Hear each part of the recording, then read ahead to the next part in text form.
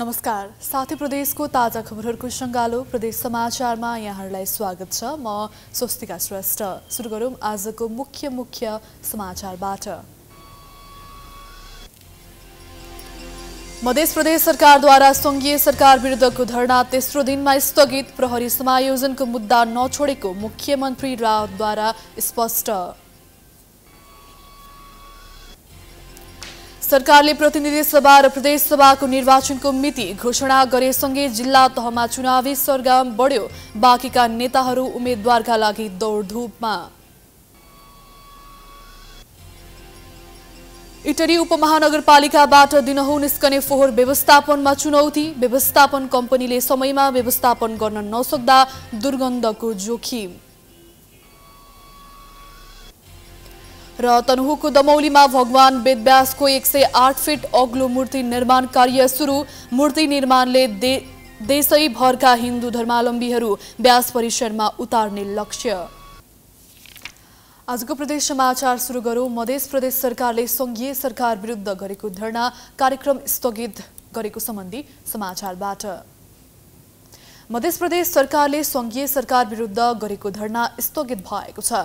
प्रदेशमा प्रहरी समायोजनको माग राख्दै जारी धरना कार्यक्रम तेस्रो दिनमा स्थगित गरेको मुख्यमन्त्री लालबाबु राउतले पत्रकार सम्मेलन मार्फत जानकारी दिए। संविधान र सङ्घीय ऐन नबाजिने गर्ने उहाँहरूले ड्राफ्ट गर्नुभएको र उहाँहरूले बनाएको ऐन भएकोले त्यसमा धेरै समस्या चाहिँ हामी मलाई लाग्दैन कि हुन्छ होला।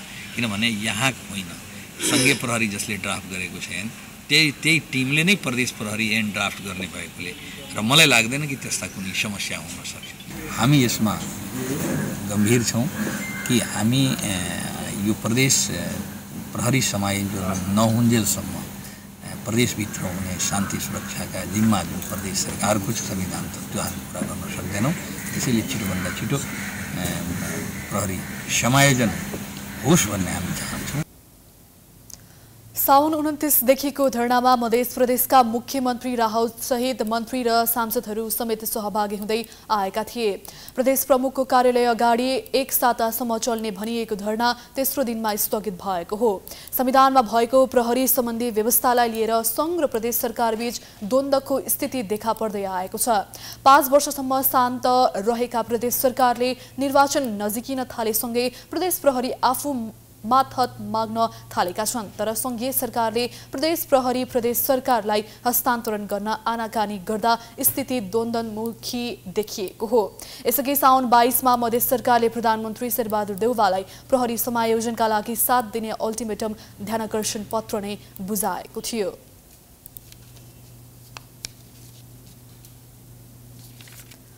अब लागौँ बाँकीका दलका नेताहरू उम्मेद्वारका लागि जिल्लादेखि केन्द्रसम्म धाउन थालेको सम्बन्धी समाचार सरकारले मङ्सिर चार गते प्रतिनिधि सभा र प्रदेश सभाको निर्वाचनको मिति घोषणा गरेसँगै जिल्लादेखि केन्द्रसम्म चुनावी सरगम बढेको छ।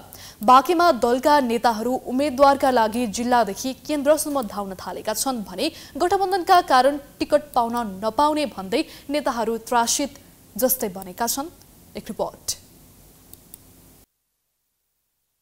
गते प्रतिनिधि सभा र प्रदेश सभाको निर्वाचनको मिति घोषणा भएसँगै बाँकेमा विभिन्न दलबाट उम्मेद्वारका आकाङ्क्षीहरू जिल्लादेखि केन्द्रसम्म दौडधुप सुरु गरेका छन् सरकारमा रहेका दलहरूका बीचमा गठबन्धन हुने पक्का पक्की जस्तो भइसकेको छ गठबन्धनले गर्दा उम्मेद्वार आकाङ्क्षीहरूको दौडधुप मात्रै होइन ढुकढुके समेत बढ्न थालेको छ पार्टीबाट टिकट पाउने सम्भावना भएकाहरू पनि गठबन्धनका नाममा अर्को पार्टीलाई भागभन्डा पर्ने चिन्तामा छन्।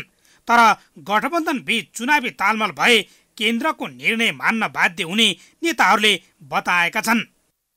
केन्द्रको निर्णयलाई हामीले पनि अक्षरश पालना गर्नुपर्छ। त्यसको बावजुद पनि बाँके जिल्लामा नेपाली काङ्ग्रेस आफ्नो सक्षम सक्षम छ सिङ्गल लड्नको लागि। र नेपाली काङ्ग्रेस सिङ्गल लड्नुपर्छ भन्ने नेपाली काङ्ग्रेस बाँकेको ठहर छ र नेपाली काङ्ग्रेस बाँकेले नेपाली काङ्ग्रेसलाई तिनवटै क्षेत्र र छवटा प्रदेशमा एकल चुनावमा गएर पनि जिताउन सक्षम छ भन्ने जानकारी गराउन चाहन्छु। बाँके क्षेत्र नम्बर दुई अर्थात् नेपालगञ्ज क्षेत्र समेटिएको पूर्व प्रधानमन्त्री एवं कङ्ग्रेसका पूर्व सभापति स्वर्गीय सुशील कोइरालाको निर्वाचन क्षेत्रमा यसपटक पनि गठबन्धनका नाममा केन्द्रले अन्य दललाई टिकट दिने हो कि भन्दै नेताहरू सशङ्कित बनेका छन्। जिल्लामा कङ्ग्रेसका नेता तथा कार्यकर्ताहरू सकेसम्म गठबन्धन नगर्ने र गठबन्धन गरे पनि क्षेत्र नम्बर दुई नछाड्ने अडानमा देखिएका छन्। त्यस्तै बाँकेको छवटै पालिका जितेको हुँदा गठबन्धन गर्न जरुरी नभएको समेत नेताहरूले धारणा राखेका छन्। क्षेत्र नम्बर दुईमा गठबन्धन गर्नुपर्ने मलाई आवश्यक लाग्दैन। किनभने यहाँ हामीले पहिला पनि चुनाव जितेका हौँ तर हाम्रो यहाँ मेयर उपमहानगरपालिकाको मेयर पनि गठबन्धन भए पनि हाम्रो मत धेरै अन्तरको उसमा विजयी हुनुभएछ। मलाई यो क्षेत्र नम्बर दुईमा गठबन्धन गर्नुपर्छ भन्ने लाग्दैन। हाम्रो स्थानीय सरकार जस्तै गरेको भए त कमजोर छैन। कमजोर छैन। तर हाम्रै काङ्ग्रेसकै अलि मान्छे घातपात गऱ्यो भने चाहिँ गठबन्धन गर्ने जरुरी छ। खासमा गठबन्धन हुनु जरुरी छैन।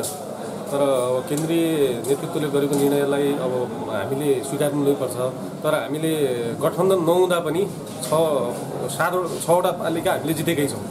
त्यसरी हामीले सङ्घ र प्रदेशमा नेपाली काङ्ग्रेसको सम्पूर्ण उम्मेद्वार गठबन्धन नहुँदा पनि विजय हुने अवस्था छ यहाँ। बाँकेमा दुई नम्बर क्षेत्र मात्र नभएर बाँकेका तिनवटै क्षेत्रमा नेपाली कङ्ग्रेस बलियो देखिन्छ। तर देशभर गठबन्धन बीच तालमेल भए केन्द्रको निर्णयलाई पालना गर्नुपर्ने बाध्यता हुने नेताहरूले बताएका छन्। प्राइम एसडीका लागि बाँकेबाट रविन्द्र घिमिरेको रिपोर्ट। अबको क्रममा बुटोल स्थित कारीकोट होटलमा एक जोडी मृत अवस्थामा फेला परेको सम्बन्धी समाचारतर्फ। रूपन्देहीको बुटोल स्थित कारीकोट होटलमा एक जोडी मृत अवस्थामा फेला परेका छन्। तिनाउ खोलापारी फुलबारी चोकमा रहेको कारीकोट होटलको कोठामा रहस्यमय रूपमा एक जोडी मृत फेला परेका हुन्। धादिङको कुमपुरका सीताराम भुजेल र थर्ड ठेगाना स्पष्ट नखुलेकी अन्दाजी पच्चिस वर्षीय युवती पुष्पा मृत फेला परेको प्रहरीले जनाएको छ। तन्ना र टेबलमा रगत पोतिएको देखिँदा युवतीको हत्या गरी आफूले आत्महत्या गरेको हुन सक्ने प्रारम्भिक अनुसन्धानले देखिएको इलाका प्रहरी कार्यालय बुटोलका डिएसपी ठगबहादुर केसीले जानकारी दिएका छन्। उनका अनुसार उनीहरू आइतबार राति त्यस होटलमा बस्न आएका थिए। उनीहरूको सब पोस्टमार्टम पोस्टमार्टमका लागि लुम्बिनी प्रादेशिक अस्पतालमा पठाइएको छ र घटनाको अनुसन्धान चलिरहेको प्रहरीले जनाएको छ। अब लागौ इटरी उपमहानगरपालिकाबाट निस्कने फोहोर व्यवस्थापनमा चुनौती बढेको सम्बन्धी समाचारतर्फ। इटरी उपमहानगरपालिकाबाट दिनहौ निस्कने फोहोर व्यवस्थापनमा चुनौती बढेको छ। काठमाडौँ लगायत देशैभर फोहोर व्यवस्थापन समस्या बन्दै गएको बेला इटरी बजार क्षेत्रमा राखिएका कन्टेनरहरूको बजा वजन ज्यादा हुँदा फोहोरहरूको समस्या बढ्दै गएको छ। एक रिपोर्ट। काठमाडौँ लगायत देशभर फोहोर व्यवस्थापन चुनौतीपूर्ण बन्दै गएका बेला इटहरी उपमहानगरपालिकाको फोहोर व्यवस्थापनमा समेत समस्या भएको छ। फोहोर व्यवस्थापनको जिम्मा वेस्ट एन्ड इन्भारो म्यानेजमेन्ट प्रणालीले लिएपछि निरन्तर फोहोर व्यवस्थापनको कार्य भइरहेको थियो। तर जिम्मा लिएको कम्पनीले पनि समयमा फोहोर व्यवस्थापन गर्न नसक्दा समस्या उत्पन्न भएको हो। इटहरी बजार क्षेत्रमा राखिएका कन्टेनरहरूको वजन ज्यादा हुँदा कन्टेनर उठाउने इन्भारो म्यानेजमेन्टका कर्मचारीको स्वास्थ्यमा समेत असर पुग्ने गरेको छ। दिनहुँ इन्भारो म्यानेजमेन्टका कर्मचारीहरू इटहरी बजार क्षेत्रमा राखिएका कन्टेनरहरूमा सङ्कलित फोहोर उठाउन जाने गरेका छन् तर ठूलो आकारका गरौँ कन्टेनर उठाउँदा मजदुरहरूको स्वास्थ्यमा असर पुग्ने गरेको छ। मुख्य बजार क्षेत्रबाट ज्यादा फोहोर निस्कने हुँदा यस क्षेत्रका कन्टेनर गरौँ हुने गर्छन्। उनीहरू आफूले नसकेर सडक मानव ट्याक्सी चालक वा अन्यको सहायता लिने गरेका छन्। फोहोर उठाउन समस्या भएका कारण कतिपय कर्मचारीले काम समेत छाडेका छन्। मेसिनबाट चाहिँ उचालिदिन भयो भने हामीलाई झन् सुविधा हुन्छ होइन? अब तलको त हामीले मेन्टेन गरेर हामीले उठाइरहेका छौँ। मेसिन मेसिनबाट उठाइदियो हामीले सजिलो हुन्छ वैकल्पिकमा अब यो ठुलो डस्टबिन हो हामीलाई होइन। ठुलो हुँदाखेरि हामीलाई अब एउटा गाडी बराबर हामीले बजारको गाडीमा तिनजना छौँ। तिनजना त हामीले नसकिने भयो नि त। सानो ड्रम हालिदिएकै हुन्थ्यो भन्नु खोजेको अब यहाँनिर लोबेड भएको गाडी नै छैन। लोबेड भएको गाडीले भयो त हामीलाई त्यत्रो दुःख पनि हुन्थ्यो। भनेपछि त्यो ड्रम उठाउँदाखेरि तपाईँलाई तपाईँहरूको स्वास्थ्यमा असर परिरहेको छ हजुर। यो त कनकने नि पुरै। उठायो भने यो चडक चडक फुट्छ बिहान बिहान। जहिले पनि जहिले उठाउनुपर्छ बिहान बिहान एक्सर्साइज हुन्छ। दैनिक के गर्नु? कन्टेनर उठाएर गाडीमा लोड गर्ने प्रविधि कम्पनीले व्यवस्था गर्न सक्ने तत्काल अवस्था नरहेकाले मजदुरहरू अस्वस्थ भई विधामा बस्नुपर्ने बाध्यता रहेको वेस्ट एन्ड इन्भाइरो म्यानेजमेन्ट प्रणालीले जनाएको छ। अब यो चाहिँ नगरपालिकाको वातावरण विभाग प्रमुखज्यूको चाहिँ दीर्घकालीनै सोच हो हुन चाहिँ उहाँको सोच चाहिँ के भन्छ हामीले चाहिँ त्यो उठाउने विदेशतिर त्यस्तो उठाएर पछाडि लोड गर्ने गाडी हुन्छ त्यस्तो चाहिँ अब कम्पनीले राख्छ अनि सहज हुन्छ भन्ने हिसाबले उहाँले राख्नुभएको तर अहिले नै त्यो ल्याउने क्षमता हाम्रो भएन अहिले। त्यसले गर्दाखेरि तत्कालको लागि त एकदमै ठुलो समस्या छ। तत्कालीन समयमा हाइड्रोलिक मेसिनबाट फोहोरका कन्टेनर उठाउने गरी नगरको योजना रहेको थियो। इटहरी बजार क्षेत्रका फोहोर व्यवस्थापनका लागि ठूला आकारका कन्टेनरको व्यवस्था गरिएको थियो। तर त्यही योजना अपेक्षा अनुरूप नहुँदा अहिले कन्टेनरहरूमा सङ्कलित फोहोर उठाउन इन्भारो म्यानेजमेन्टका कर्मचारीलाई हम्मे हम्मे पर्ने गरेको छ। फोहोर व्यवस्थापनमा खटिने मजदुरको स्वास्थ्यलाई अनुकूल हुने गरी सम्बन्धित पक्षले समस्याको विकल्प खोज्न जरुरी छ। प्राइम एसडीका लागि सुनसरीबाट विकल्प रेग्मीको रिपोर्ट।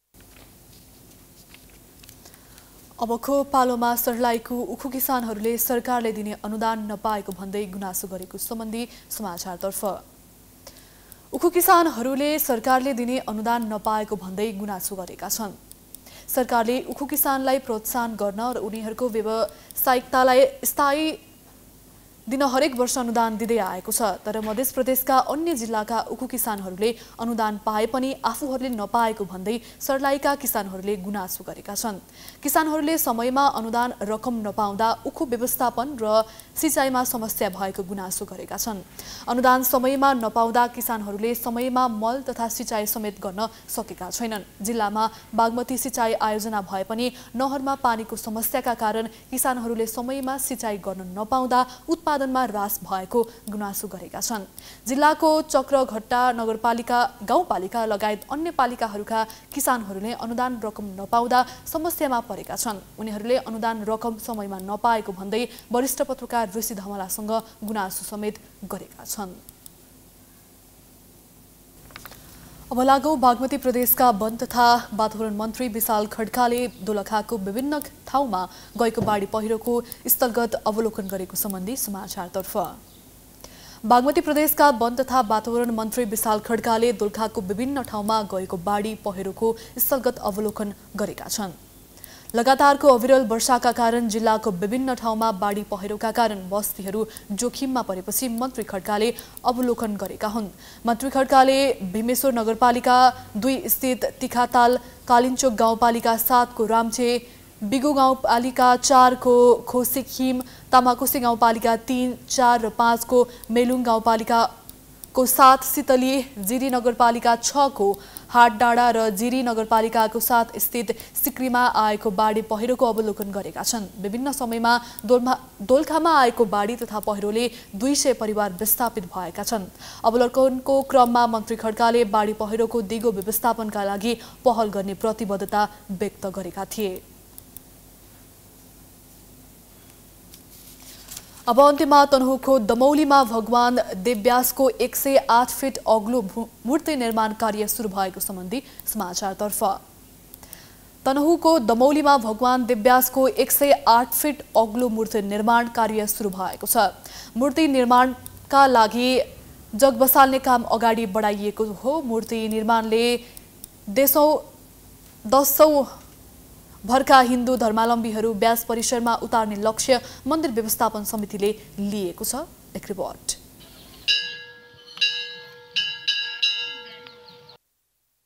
तनहुको दमौलीमा विश्वकै अग्लो भगवान वेदव्यासको मूर्ति निर्माण गर्ने गरी समितिले काम अगाडि बढाएको छ। निर्माणका लागि ठेक्का सम्झौतापछि काम सुरु गर्दै गर्दा पहिले पानी निस्कँदा काम प्रभावित भएको थियो। दुई हजार अठहत्तर जेठबाट दुई हजार उनासी जेठ तिसको एक वर्षभित्रमा योजना पूरा गर्ने ठेक्का सम्झौता भए पनि मूल फुटेर समस्या भएपछि अहिले शेरवाल ढलान मात्रै भएको छ। संस्कृति पर्यटन तथा नागरिक उड्डयन मन्त्रालयको सम्पूरक अनुदान तीन करोड अस्सी लाख ब्यास नगरपालिका र ब्यास क्षेत्र शिव पञ्चायन मन्दिर कोषले दुई करोड छ्यालिस लाख बजेट लगाउने गरी मूर्ति निर्माणका लागि काम अगाडि बढेको समितिले जनाएको छ अहिले यो पेडेस्टल निर्माणको कार्यक्रम शीघ्र रूपमा सञ्चालन भइरहेको छ यसको लागत चाहिँ चार पाँच करोड चौरासी लाख रुपियाँको हो।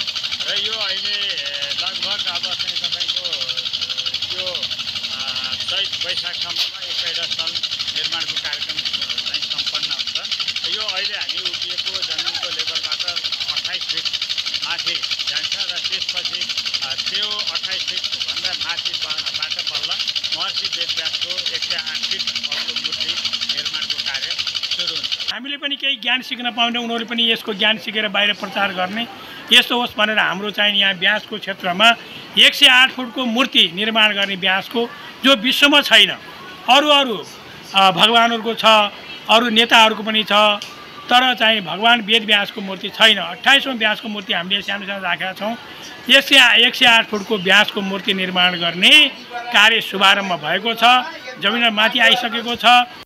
व्यासथुन स्थित शिव पञ्चायन मन्दिर परिसरमा निर्माण भइरहेको मूर्तिको अगाडिको भागमा गणेशको मूर्ति राखिनेछ। त्यस्तै मादिसेती नदीको सङ्गमस्थल आकारको डुङ्गा बनाउने र डुङ्गामा पराशर र मत्स्यगन्धा सवार मूर्ति निर्माण गर्ने समितिको योजना रहेको छ। मूर्तिसँगै महर्षि वेदव्यास र पराशरको वृत्तचित्र बनाउने फोटो प्रदर्शनी हल बनाउने धर्मशाला कुटी लगायतका संरचना निर्माण गर्ने समितिले जनाएको छ। अब दुई तिन महिनाभित्र हामीले दिएको कन्ट्र्याक्ट गत वर्ष दिएको ठेक्का अनुसार काम सम्पन्न गर्छौँ। र बाँकी काम सम्पन्न गर्नको लागि सङ्घीय सरकार र प्रदेश सरकारको सहयोग सँगसँगै ब्यास नगरपालिकाको सहयोगमा हामी त्यसलाई माथिल्लो जुन एउटा वेद व्यासको पाउ बस्ने ठाउँसम्मको निर्माण सम्पन्न गर्छौँ र त्यसपछि वेदव्यासको मूर्तिको निर्माण अर्को चरण चाहिँ फेरि हामी सुरुवात गर्ने क्रममा अगाडि बढेका छौँ। तनहु लगायत देशैभरका हिन्दू धर्मावलम्बीलाई एकपटक व्यास परिसरमा उतार्ने मादी सेती नदीमा स्नान गराउने र व्यास तथा पराशर क्षेत्रलाई धार्मिक पर्यटकीय क्षेत्रको रूपमा विकास गर्ने उद्देश्यले मूर्ति निर्माणको काम अगाडि बढाएको समितिले जनाएको छ। प्राइम एचडीका लागि तनहुबाट विकास रिपोर्ट।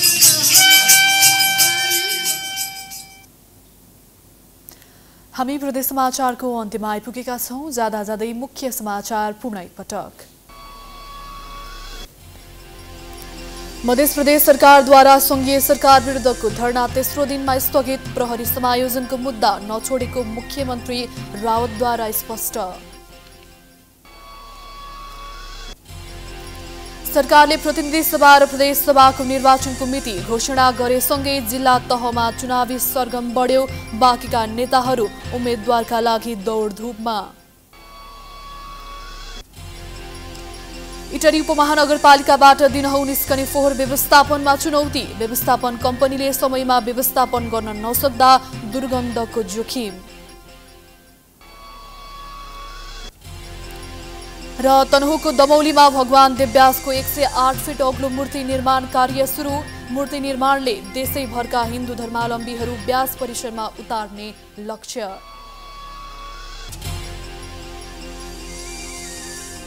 समाचारहरूलाई सकियो हेर्दै गर्नुहोला प्राइम टाइम्स टेलिभिजन नमस्कार